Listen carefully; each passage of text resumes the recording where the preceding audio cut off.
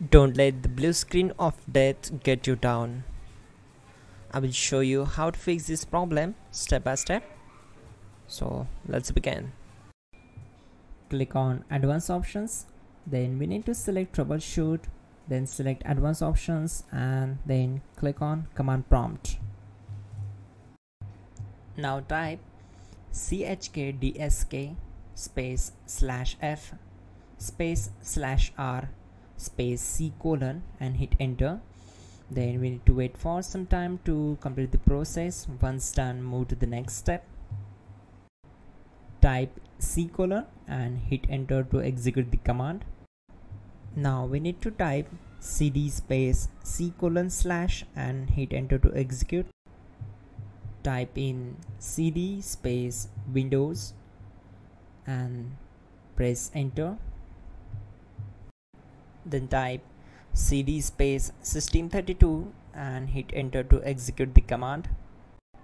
Now type cd space config and simply press enter to execute this command. Now type md backup and simply hit enter. Now type copy space star dot star space backup and hit enter now type md backup1 and hit enter. Now execute this command carefully. Type in copy space star star space backup1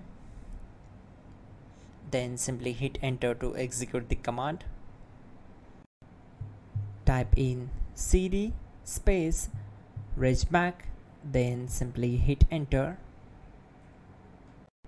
then type dir and simply hit enter. Type copy space star dot star space star dot and hit enter. Then type all and simply hit enter to execute the command. Let's move to the next command. Now type bootrec space slash fix mbr and hit enter to execute the command now execute this command. Type in bootrec slash fix boot and hit enter. Now type in cd space c colon slash and simply hit enter to execute the command. Now type this command. cd space windows slash system32 slash config slash regback and simply hit enter to execute the command.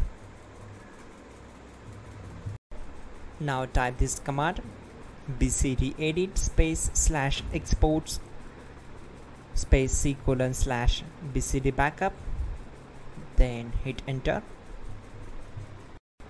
Type cd space c colon slash and hit enter.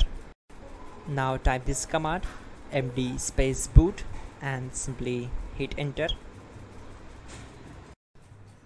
type cd space boot and hit enter. Now type md space bcd and hit enter.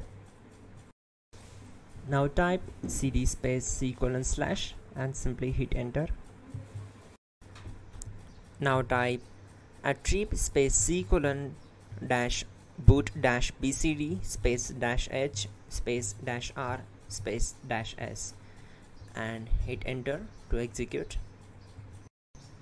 type in ren c colon backslash boot backslash bcd bcd.old and simply hit enter to execute this command. Now execute this command type bootrec space slash rebuild bcd and simply hit enter to execute this command. Now type exit and simply hit enter.